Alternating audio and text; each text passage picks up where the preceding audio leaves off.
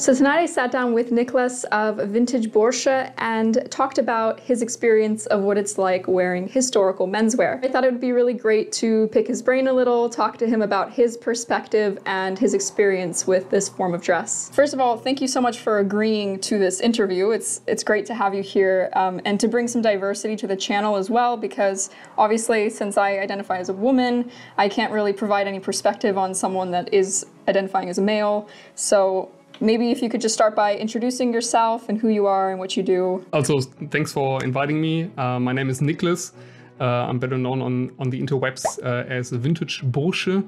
Uh, Bursche is a German term similar to lad, I think. Usually I am a uh, an IT analyst, so I studied computer science. Doing my um, my life, at some point I, I discovered for myself sewing, historical research, and so on. And, and I am present on I don't know Instagram, YouTube, and all those all those platforms. I actually had to look up Bursche because I wasn't sure what it meant. You know, obviously it's pretty self-explanatory if you go on your YouTube channel that that, that is your name. so how long ago did you start dressing vintage or historical? I'd say like six or seven years. I've been active um, in the, on the internet for, I guess, five five years with this vintage Bursche thing and started a little bit before that, at least dressing sometimes with, you know, vintage style suits and so on. And it's uh, it's a slow process and I'm still, you know, trying to replace some items in my in my wardrobe with things I'm more comfortable with, where I like the style a little bit more. Do you wear historical or vintage clothing every single day or is it something that you only do sometimes? Like for instance, can you also wear historical clothing to work or is it something different that you have to do? I do dress vintage every day now.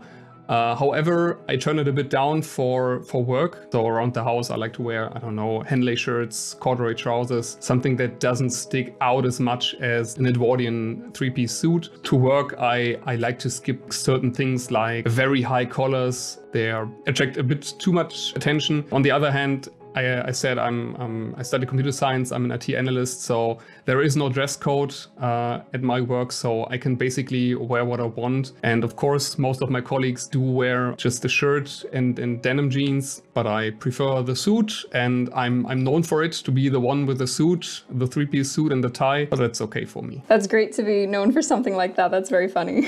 With historical clothing or, or vintage clothing, it's it's always like you're ready for any event because you can kind of play it casual I mean, you're a little overdressed all the time. If you have to go somewhere more formal, you're already ready to go because nowadays we don't really have evening wear in the way that they did before. Yeah, new colleagues uh, usually ask me um, if I'm invited to a wedding afterwards.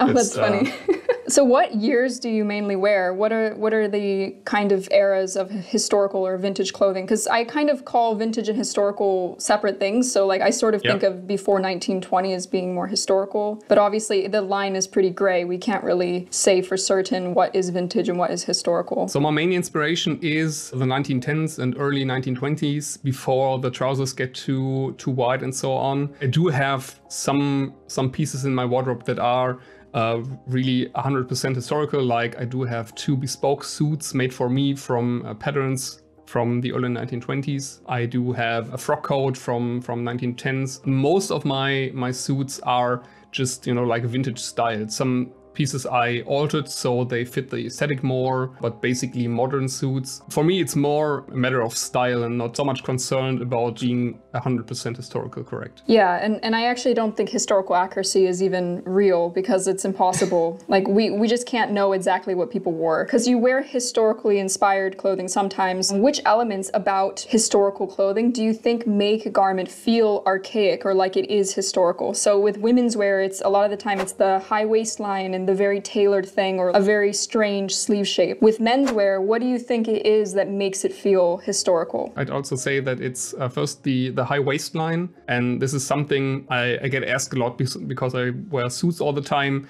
Uh, people come to me for advice wearing modern suits and it, it feels vintage, but it, it's not actually vintage or, or historical. But the high waistline is, I don't know, a, a game changer because they make your legs look longer. It's a lot more comfortable than those low waist uh, uh, trousers. And this is maybe the, the most important thing for me.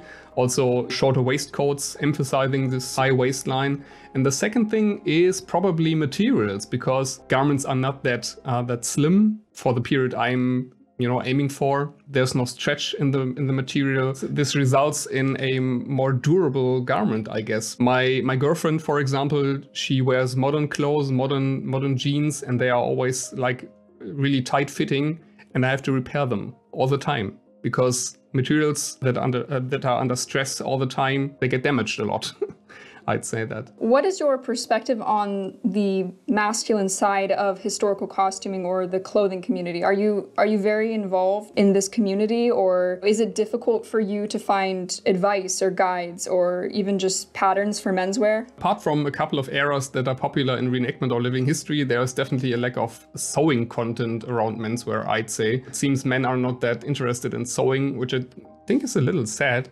Men also underrepresented on on the the fashion side. To my mind, there are a lot of a lot more vintage style shops and brands for women than there are for men. That may be an interesting sociologi- sociological study.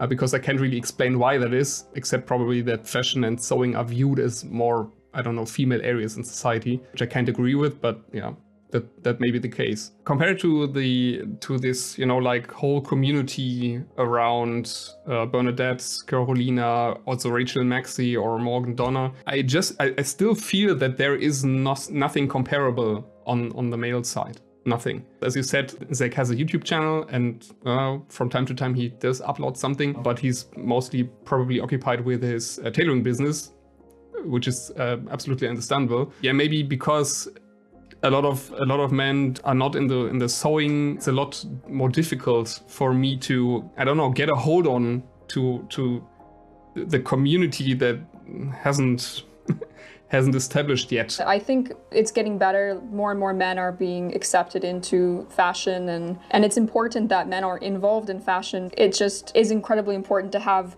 all people involved in this aspect because fashion so directly influences our culture. And so we need to hear everyone's voices, like people of, of all identities coming together to be able to provide a equal opinion on everything. I think at least. I, I hope I hope it gets it gets better and then, and I hope I can, you know, contribute to that by offering sewing content for for menswear. I think you're doing a great job at it definitely. I think you definitely you. provide a gap that exists in the market and you provide that the space for those people who are looking for that information which is so important. We think everything's been done on the internet but it turns out if you niche down more and more it hasn't yeah. been done.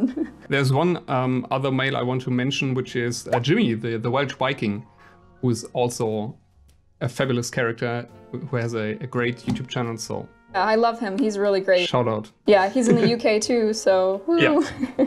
what are the reactions that you typically will get? Because I'm sure you have in your head, um, at least I know I certainly do, a few of the great ones and a few of the really negative ones that you've had. And, and you're in Germany, so it's going to be different, I guess, for someone in a different country. Yeah, also really depends on, on the city you're living in. And I, I do live in Cologne in Western Germany, which is one of the four biggest cities in Germany. And uh, there in Cologne, there's there's carnival where everybody dresses up like something. So people here are used to seeing someone straying from the norm. So I, I, think it's really okay here in the countryside, more or less. It's it's uh, a lot more difficult. The reactions are mostly positive, but of course you have your you know occasional teenager that thinks you look like a clown. Also there are some people that connect the suit, no matter from which era with certain conservative beliefs and thus look down on you. But again, most reactions are positive, so ranging from elderly people that are reminded of their youth uh, by my clothes to young and artsy people that appreciate just the fanciness of my outfits,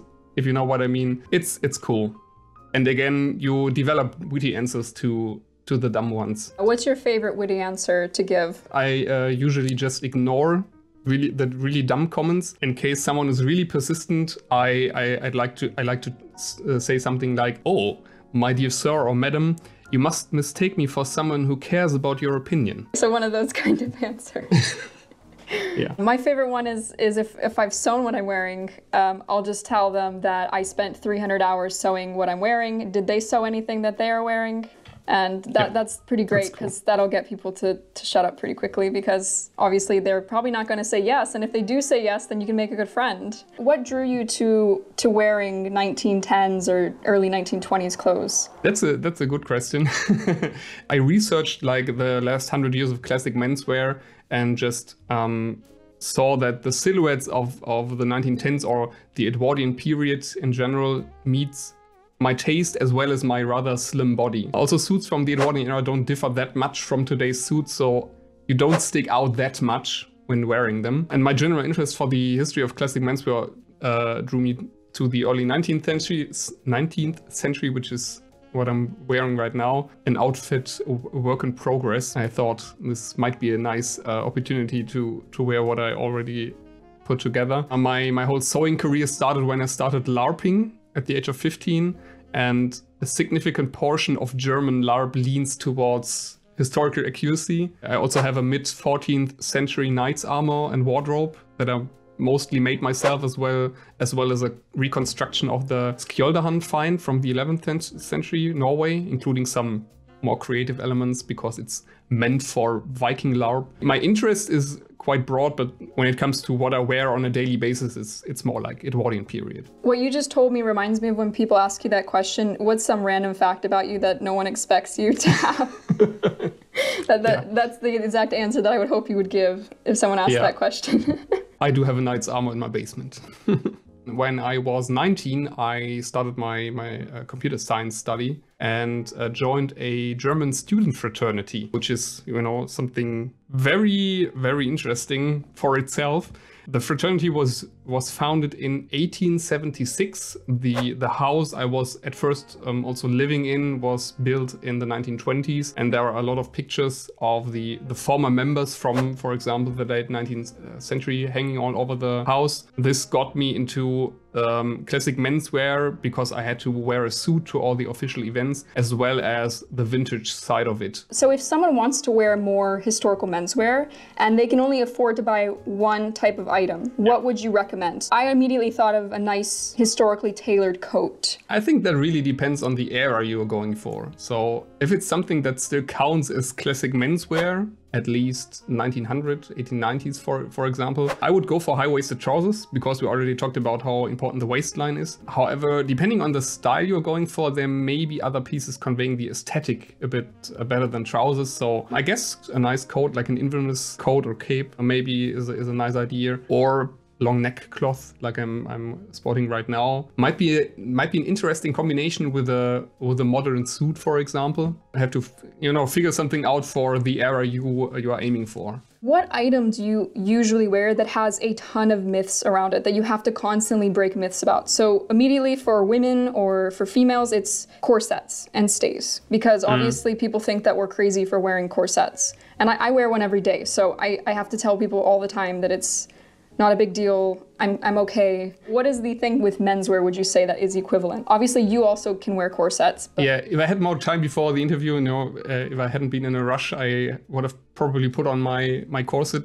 Uh, which I which I haven't now. But one element is a bit different, which is basically the detachable collars, which are most of the times very high and stiff. So again, it's a it's a comfort question maybe. So people ask me, I can't can't uh, imagine that these are comfortable, but I would say it's it's really fine. Also, this high collar here is just fine. This is all uh, this is also very soft, so it looks uncomfortable, but it really isn't. Maybe a bit warm, but that's okay. And uh, the detachable collars, they have a great dynamic, you know, they, they move a lot in themselves, so you really get used to it. What aspect of historical dress did you find to be the biggest adjustment? Is there anything that you really miss about modern or contemporary clothing? Biggest adjustment is that you can't be too careless with your clothes. We tend to don't care about our stuff because everything is so cheap and made of polyester. That's maybe the, the biggest difference, uh, I think but also a big money saver. So of course, I sometimes I miss being careless, but on the other hand, it saves me so much money.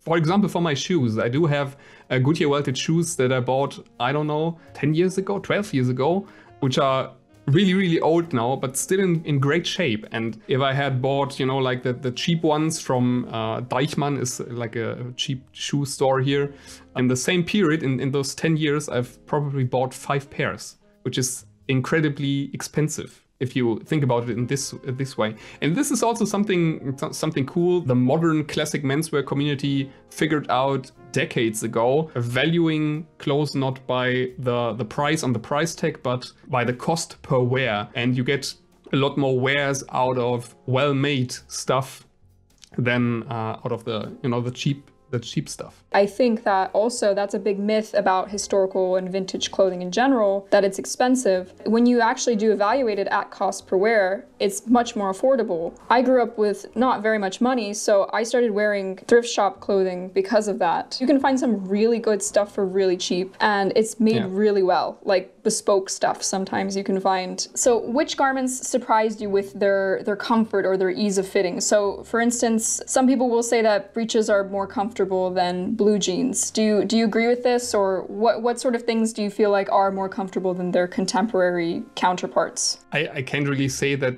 some garments surprised me but on the um, on the concrete matter i guess it depends on on the blue jeans and the breeches because the tight blue jeans are pretty restricting uh, restricting and 18th century breeches i guess are too the breeches have these uh, very baggy bottoms so you have enough fabric to move. On the other hand, there are also loose fitting blue jeans. Of course, they are quite comfortable um, just as the types of breeches that became popular in, for example, the, the 19th century, those knickerbockers and plus fours, for example, they are very roomy. So yeah, kind of deals with the circumstance. But is there is there anything that you were like, wow, this is so much better? Why did I not start wearing this, you know, 20 years ago? Maybe corduroy in general because it's not that popular anymore. I can't figure out why. to be honest. Are there any historical garments that you're enjoying watching a retrending of? Because lately, the fashion world loves to implement little historical elements, especially Victorian stuff. In, the, in this classic menswear community, there's always something vintage or historical retrending. I'm just sitting back and uh, I'm, I'm, curious what, what will be next. For example, those safari jackets or field jackets. I'm keen to see whether knickerbockers might might retrend at some point uh, because I love those. I don't think that detachable collars uh, will ever retrend because, to be honest, they are quite inconvenient, despite the fact that they look pr pretty nice. I think the corset yeah. has retrended, so I mean, yeah, that's true. It's a different version, but I already uh, teamed up with a with a good friend who's a bespoke tailor here in Cologne. We wrote a tailoring book for menswear from the early 1920s. The detachable collars are maybe uh, one of the easiest projects in, in the book because it's, you know, like just some tiny piece with a couple of layers. Again, classic menswear in general is not that beginner friendly, but maybe if you have sewn something, start with a detachable collar. Oh, so what what is the book's name? Can you can you tell us all? The original version is German, and uh, I have to, have to admit that the uh, the physical version is we only have that in German. It's Vintage Herrenmode Selbstnähen which is basically sewing vintage menswear, but we have an ebook in English. One of the questions I got a lot was what are your recommendations for sewing resources for menswear? That's really, really difficult, which was the motivation for us to to make the book because there is nothing similar. I really can recommend the book by Lydia Edwards, How to Read a Suit. Maybe you already know the How to Read a Dress. This is the best overview you can imagine because you can pick your favorite style from 1600 up to um, the 1990s so my friend Cass McGann owns Reconstructing History, and she has an incredibly large amount of historical menswear patterns. A lot of it is also going into early 20th century. I, I don't mean to just do a plug of my friend's company, but she genuinely makes great patterns for you and for anyone watching this video as well. In your opinion, do you think that people react differently to a man in historical dress than they would um, a woman? So I, I, guess we should both answer this question because we, we each have the other side of the story, so to speak. In my, in my opinion, lady wear in the last 50 years uh, or so always seem to be more creative and more diverse than menswear. I don't I don't know if, if it's the case. It's just just my point of view. It's really more difficult to uh, wear clothes as a man that society doesn't expect you to wear. And I see that side of it absolutely. I think that because so much of menswear today has influences from classical menswear or historical menswear, it kind of makes you feel like you're on the way to an event or something. And so people end up being forgiving of that. But when I show up to walking around somewhere with a full-on crinoline and a corset, people are like, what? Mm-hmm. They can't figure out what you're doing. I sometimes got asked if I was in the theater or in an opera. One time, a drunk guy in the street started singing opera in my face which was interesting. I can imagine on the side of it, of, of, of course, this thing in society of men are expected to be a certain way. I mean, I guess just like women are expected to be a certain way as well, but with men, it's that whole hyper masculinity, and that would make it, I, I believe, supremely difficult for men to wear historical clothing. And then I think on the side, other side of it too, women were often very when we wear historical clothing. Yeah, it's true. I've received some really kind of negative comments where people have been fetishizing me for wearing historical clothing. And it's because corsetry is somehow fetishized nowadays. So it's, it's interesting. I feel like it would be difficult in both in both ways for both demographics, but also for different reasons. You've already said that you do sew some of your own clothing. Tailoring is a very daunting aspect of historical clothing. What are the three things that you absolutely think you need to learn with tailoring? I don't, I don't really know the uh, the the correct English term, but when you have a pattern and uh, the fabric, you know, you have like two symmetrical pieces.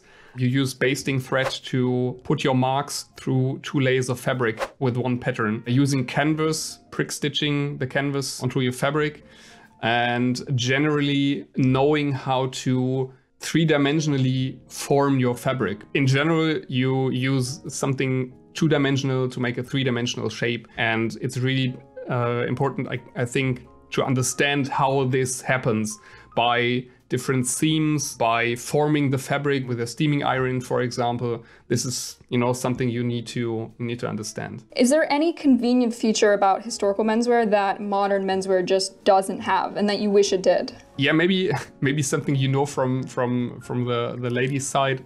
It's pockets.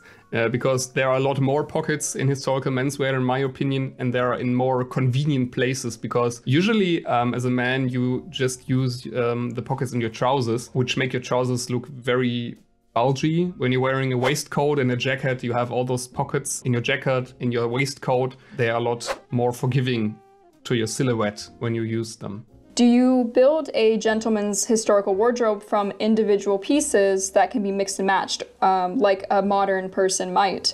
Or is it more focused upon matching sets. So, for instance, in my wardrobe, it's very often a matching set, like a walking yeah. suit. It has a, a, matching bodice and a matching skirt. Uh, that really depends on your personal style and the area you're going for. Personally, I prefer three piece suits, so the sets, I'm the, I'm the set guy. That was also the reason why I have those two full bespoke suits because I wanted three piece suits um, with a historical uh, uh, cut, and this was uh, my only my only option. Are cod pieces as uncomfortable and annoying as they look? Because yeah. from a female perspective, they look like they're impossible to deal with. Like how kind of how corsets are impossible from a male's perspective and everything. I don't own any 15th or 16th century attire, uh, but I know some people from my medieval LARP that do wear cod pieces, and as far as I know, they are not uncomfortable or annoying at all. So what are your most and least favorite fabrics to wear? You mentioned corduroy, and also what are some of the colors that you enjoy wearing? I really, really love tweeds and flannels because I like the woolen yarn aesthetic. Thin flowing fabrics, which you find a lot in, in this